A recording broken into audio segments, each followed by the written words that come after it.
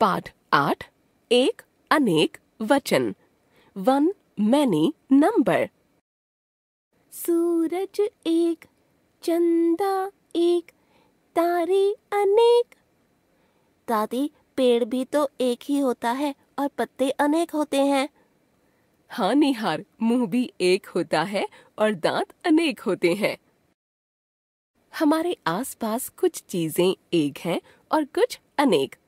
सूरज या चाँद एक, तारे अनेक, पेड़ एक, पत्ते अनेक, मुँह एक, दांत अनेक। संज्ञा के जिस रूप से उसके एक या अनेक होने का पता चलता है, उसे वचन कहती हैं।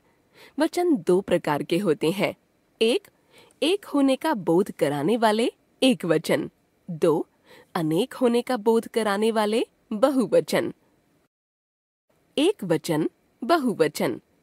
पत्ता, पत्ते, बालिका, बालिकाएँ, केला, केले, माता, माताएँ, बच्चा, बच्चे, चिड़िया चिड़िया, बेटा, बेटे, बकरी, बकरियाँ, किताब, किताबें, रोटी, रोटियाँ, बात, बातें, तितली, तितलियाँ, पुस्तक, पुस्तकें।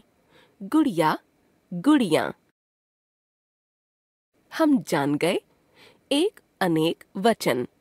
एक या अनेक का बोध करवाने वाले संज्ञा शब्द, वचन। वचन के दो प्रकार, एक एक वचन, दो बहुवचन।